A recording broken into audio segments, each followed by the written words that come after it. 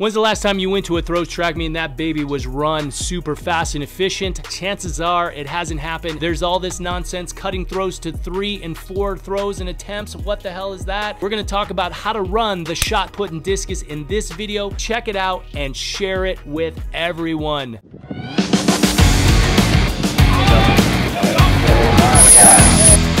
What's up guys, it's Eric Johnson from Arete Throws Nation. In today's video, we are gonna talk about how do we improve running the shot put and discus at our dual meets, tri meets, and invitationals. This is a video I've wanted to put out for quite some time.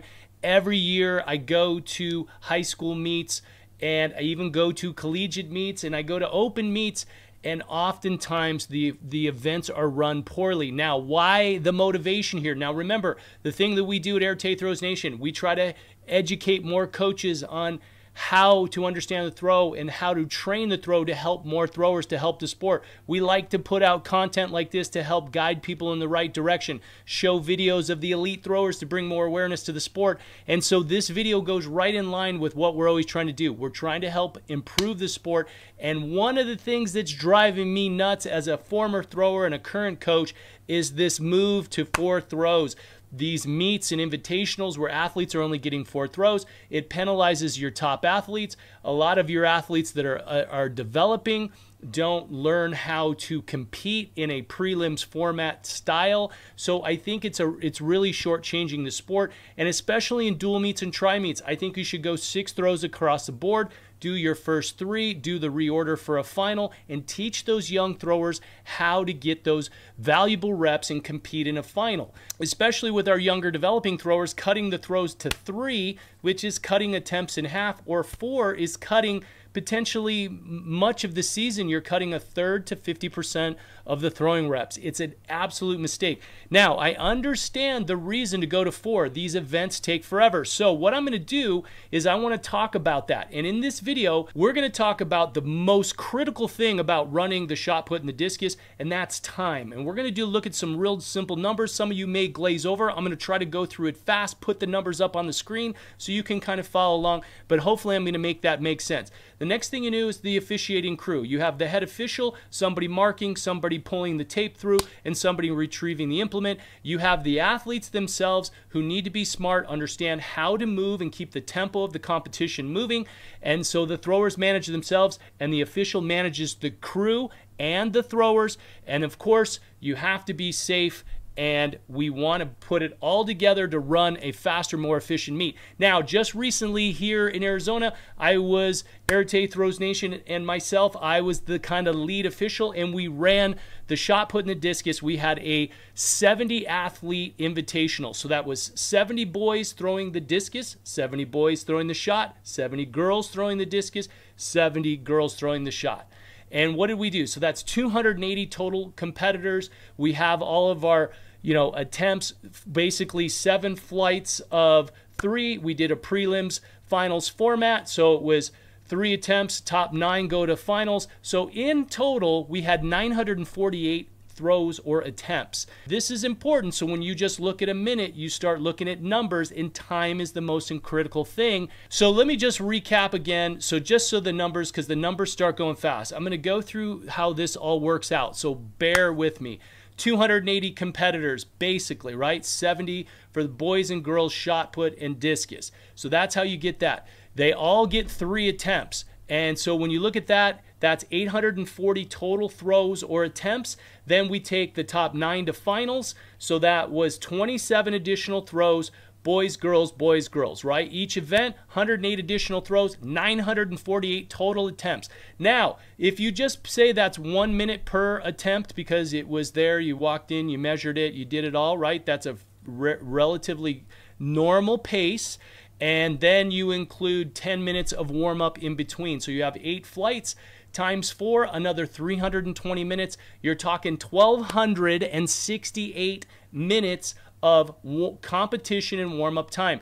So we're going to talk about how all that works. So when you look at it all and you calculate one minute per throw, and this is a big meet. Most of your meets might have 48 or you know 50 throwers. This was a big invitational. We ran it start to finish, both flights done in 4 hours and 15 minutes. Now, look at the math. When you go 12, uh, 12 1268 minutes, that's taking our total attempts and warm up time because 8 flights, 10 hard minutes for warm up officials need to set that watch and give 10 hard minutes most athletes will be done within that time frame that's going to be 80 minutes. So that's how we got to that 1268 minutes of time. Now, here's the thing when you look at that and you divide that out, so we have two events running at the same time, you're looking at basically 21 hours of throws, right? Because if you say 1200 minutes, warm ups, throws, that sounds like, wait a minute, nobody's ever running 21 hours of throwing, but they're running at the same time. So 10 hours. How many big invitationals have you been to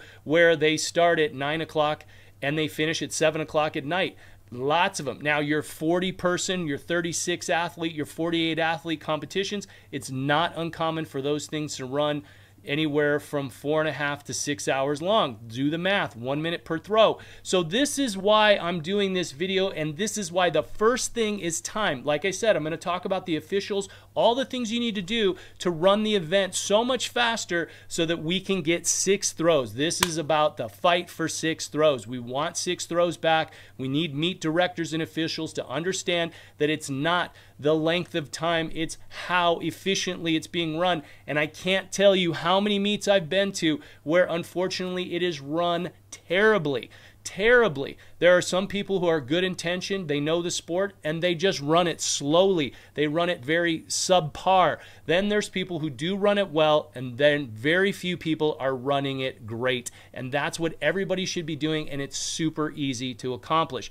So, what we're going to do is we're going to talk. Now that I've gotten all these numbers, right, I'm blowing your head up with numbers, but let's just talk about it. When we save 10 seconds, basically in a flight, you're saving five minutes of time. Now, that may not sound like a lot, but again, when we look at those total number of attempts, and we're talking seven flights on prelims, right? So that's seven times four. That's 28 flights you're running, and you save five minutes per flight. So 28 times five is 140 minutes just by saving five minutes. That's saving 10 seconds every round, right? So instead of taking a minute, you take 50 seconds. Now, when you take up all those prelims, you've saved 140 minutes. So 140 minutes is roughly uh, two hours and 20 minutes of time saved. That is huge just by saving 10 seconds. So now let's get into it. When you understand the critical nature of time, 10 seconds adds up to two and a half hours, two hours and 20 minutes. So that means 20 seconds of time adds up to four hours and 40 minutes saved, right? Now, conversely, run it 10 minutes slower now you're losing two hours, you're adding two hours, and this is what happens all the time. And then I get it. Meet directors say, well, what happens? And the guy who's running it doesn't want to take the responsibility that he ran it like crap or she ran it like crap. And they say, well, you know, there was you look at the numbers and it takes a minute and you know we're just taking one minute but there's 900 throwers you know it's 900 attempts and they have 10 minutes of warm up and there's another you know three three you know four hours of warm up time, you know, and they do all this kind of stuff. And it's like, okay, that's not the answer. They ran it like trash. And I'm sorry to put people under bus because there's a lot of good people out there that are trying to volunteer and help their time, but they just don't get how it needs to work. And this is how it's going to work. So let's do just a quick review. The official is going to, of course, gather everybody in for flight check in. So check in, call the names way faster. Number two, explain the rules and explain never turn your back to the ring. Step three, make sure as the official you explain how the athletes will be coming in and out of the circle during the competition as the event is being measured. Step four, make sure that the guys measuring the thing are moving. Multiple times during my time, I had to tell the guys, step up the tempo. Time is critical. And the last note, which is the most important, is a short meeting with the officiating crew prior to to explain all these things. One, when you measure, mark it. And two, explain to them safety. When the discus is coming at you, where to step. Don't freak out and run to the direction that the, the implement is going to go. But most importantly, explaining to them, hey, we want to have a good time. How many of you guys want to be here an extra two hours or four hours tonight? Nobody's going to raise their hand. So, how do we do that? You explain real quick the numbers that we've explained in this video. Hey, the bottom line is, is you're going to be saving every 10 seconds with this amount of throwers. Just always take your total number of minutes, one minute times the total number of throws, and then multiply it point by 0.167. That's your 10 second figure. You can pull out the calculator on your phone and you can explain to these guys this is how you're going to save time. So if you're 10 minutes slower, we're going to be here two extra hours. If you're 10 minutes faster, we're going to save two extra hours, two and a half hours, and we're going to get out of here sooner. That's going to make a huge difference. So make sure that they're all clear, coach them through that, make sure athletes are being safe, and make sure you're running the event smoothly. That's going to be the key thing for the official. Now, it goes without saying that you explain the rules.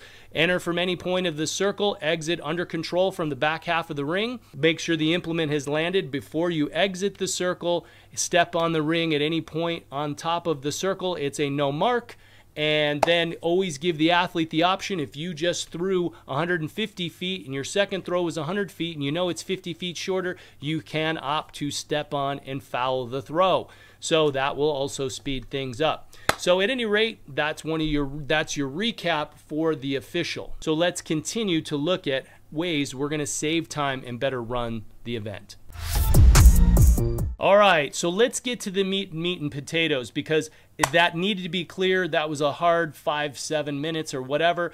But this is the problem. It is it, there is a, a true time factor. Time management is the name of the game for running the shot put in the discus.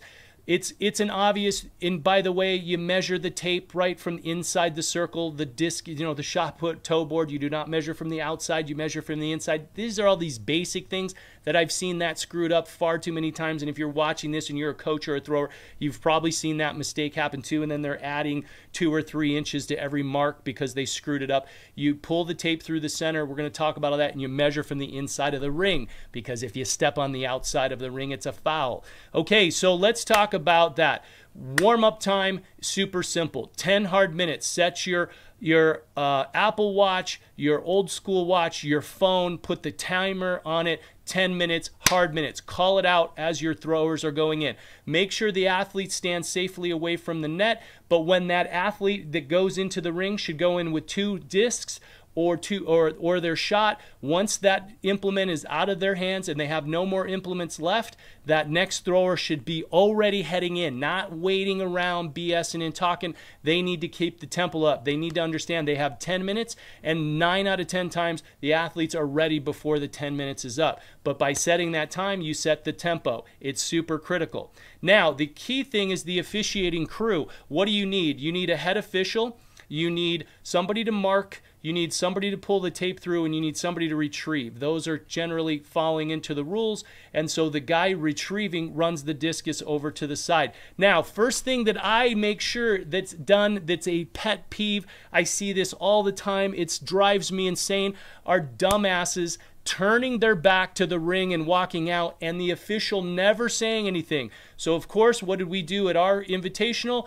Every time we announce and we pull the warm up together when their flight goes together, we told everybody never turn your backs to the discus ring. You walk with your eyes on the circle, and whoever's throwing should always pay attention, yell heads up.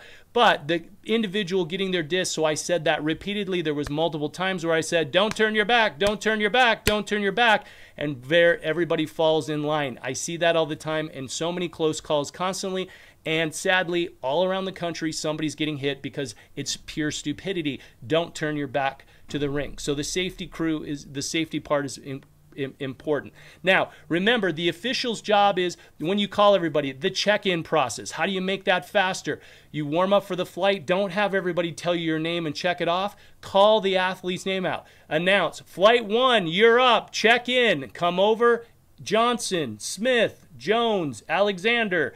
You lay out the name here, here, here. You check everybody in. Then the two kids or three kids that aren't showed up, they'll show up and check in. You get the warm up going. Do not wait. Do not slow it down by having everybody this. This is how you make the warm up time. You get them checked in. They start warming up because the countdown timer is going while you're checking in. So that's another way to keep that warm up time between flights. I've been to meets over the years and they do a trash. They don't set a timer. They'll sometimes have 15 minutes, 12 minutes, 20 crazy times that are just killing and running the event behind schedule. Okay, so the official's job is to get everybody checked in, explain the rules, explain safety, and this is most important explain to your crew how to run it. Number one, markers. We were just recently at a meet, and the marker, one of my athletes got his throw mismarked because it was well beyond his head. He's standing outside of the sector by 10 feet, and it went 40 feet past him and so this is like a 200 foot plus throw. And the guy walks to the mark. He missed the mark because he wasn't in the right area. So, rule number one you tell the marker, you run to the mark, period. You do not lollygag. You do not, you hustle your ass to the mark. That's how it works. So, the marker hustles to the mark. The retriever hustles to get the disc, runs it over. And then when the marker is running to it, the tape measure, the guy who's pulling it through, pulls the tape and pulls it through the center of the circle. The official can walk in, get the mark. Now, here's the most important thing for the official you have to tell the, the athletes that are standing waiting you when i say jones is up smith's on deck johnson on hold then when jones throws or smith threw and jones is up next jones has to walk in with the official and the person measuring and wait. So when they walk and they walk out of the cage area, the next thrower is walking into the ring. So everybody's moving and that keeps the tempo up. We just talked in the beginning about how critical it is to save time. 10 seconds is going to save two hours, 20 seconds is going to save four hours on a huge invitational like this. That adds up. This keeps the rhythm up. How is that explained to the athlete? Listen up, guys. This is how you do it. You tell them that's what you expect. When we are measuring the next thrower up, you walk up. That's why it's so important for the official to make sure that you're announcing the names throughout the competition. Like I said, Smith, you're up. Jones on deck. Johnson on hold. You have that so the athletes know their order. They can get in, they move in, you measure, you move out. We will also have poor officiating where you see how slow they are. They walk to the mark. They don't hustle to the mark. They don't pull the tape through. It's much slower. It's taking much longer than what we were showing. Guys were running in, running out, and we were keeping everything moving really quick. So again, simple thing for the measuring guy hustles to the mark, the guy pulling the tape the person, the individual pulling the tape is going to pull it through the center of the circle. So from the mark through the center point of the circle to get a clean, accurate mark on the front of the ring. The official writes down the mark, calls it out, and then calls the next thrower up who should already be in the ring ready to go. And you repeat this cycle, and this is how you start saving 10, 15 up to 20 seconds, especially when there is a no mark, which is going to speed up the competition. Now, the key thing is managing those throwers, like I said, telling them how to come in, which I've repeated multiple times. But throwers, you need to be paying attention and making sure that you know you're up and you go in, and that's how things keep moving. Now, one of the key things, how did we, how were we able to finish a competition? That was start to finish. We started at 8:45 a.m. By 1 p.m., we had completed all of our time. That that 948 attempts, done with 80 minutes, you know, eight 10 minute segments, 80 minutes of warm up, all complete. Our numbers came out to 255 total minutes. We had 80 minutes of warm up time, and that left us with 175 minutes to basically complete 948 throws. We were on a super hustle schedule.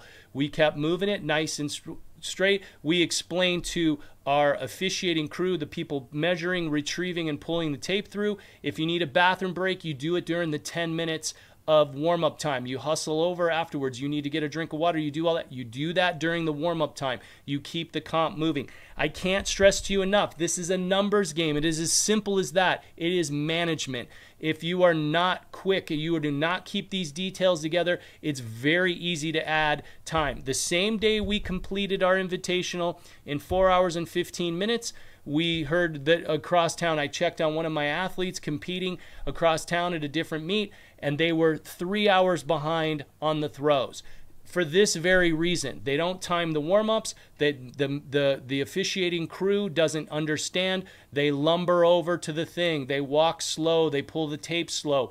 Tick, tick, tick, tick, tick. You just add time to the event. I was in an event with two flights of like 13 throwers and it took over two hours. Absolutely ridiculous. It should not take that long. We were averaging just under 20 minutes per thrower. So 30 throws under uh, 20 minutes each time. So even with our warm up, I think with warm up, we were at about 20 something minutes per flight. We ran through it really efficient. This is really great for the athletes. The athletes, right? This is all about the athlete. A good experience.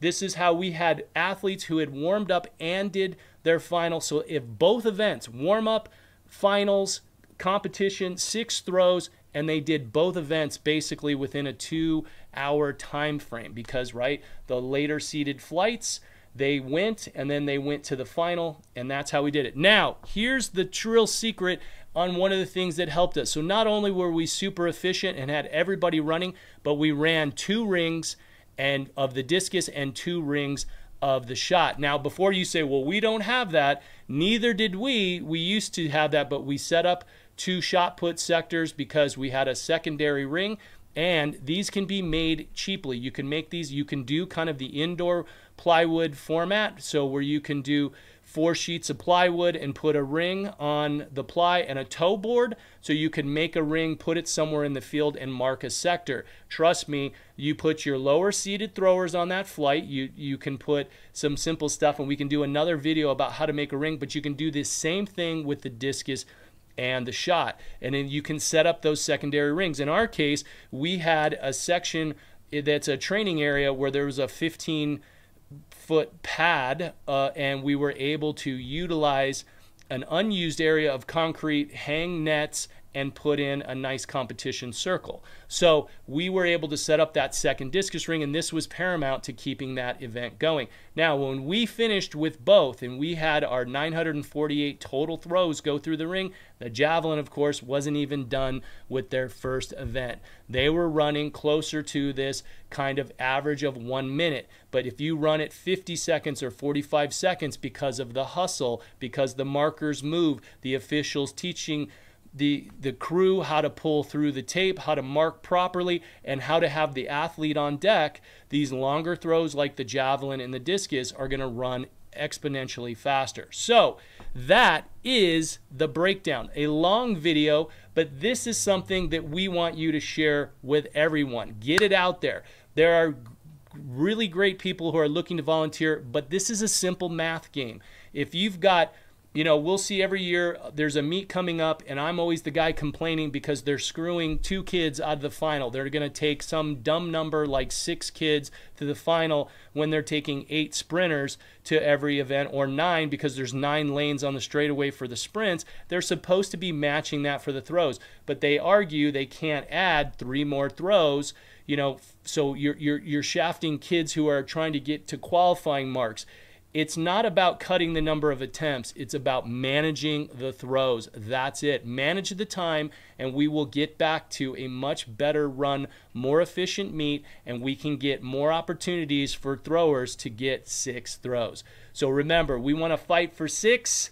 Thank you guys for watching this. We want to get out there, run great events. Good luck to you. We want to see more six throw competitions, which I already said. And remember, be sure if you're looking for coaching information on how to better structure practice, how to learn the throw, and how to better train, check out the throwing chain reaction system in the link below and share, share, share, and share this video with coaches, athletes, meet directors, everybody, because running the events is the key to having the throws be more successful.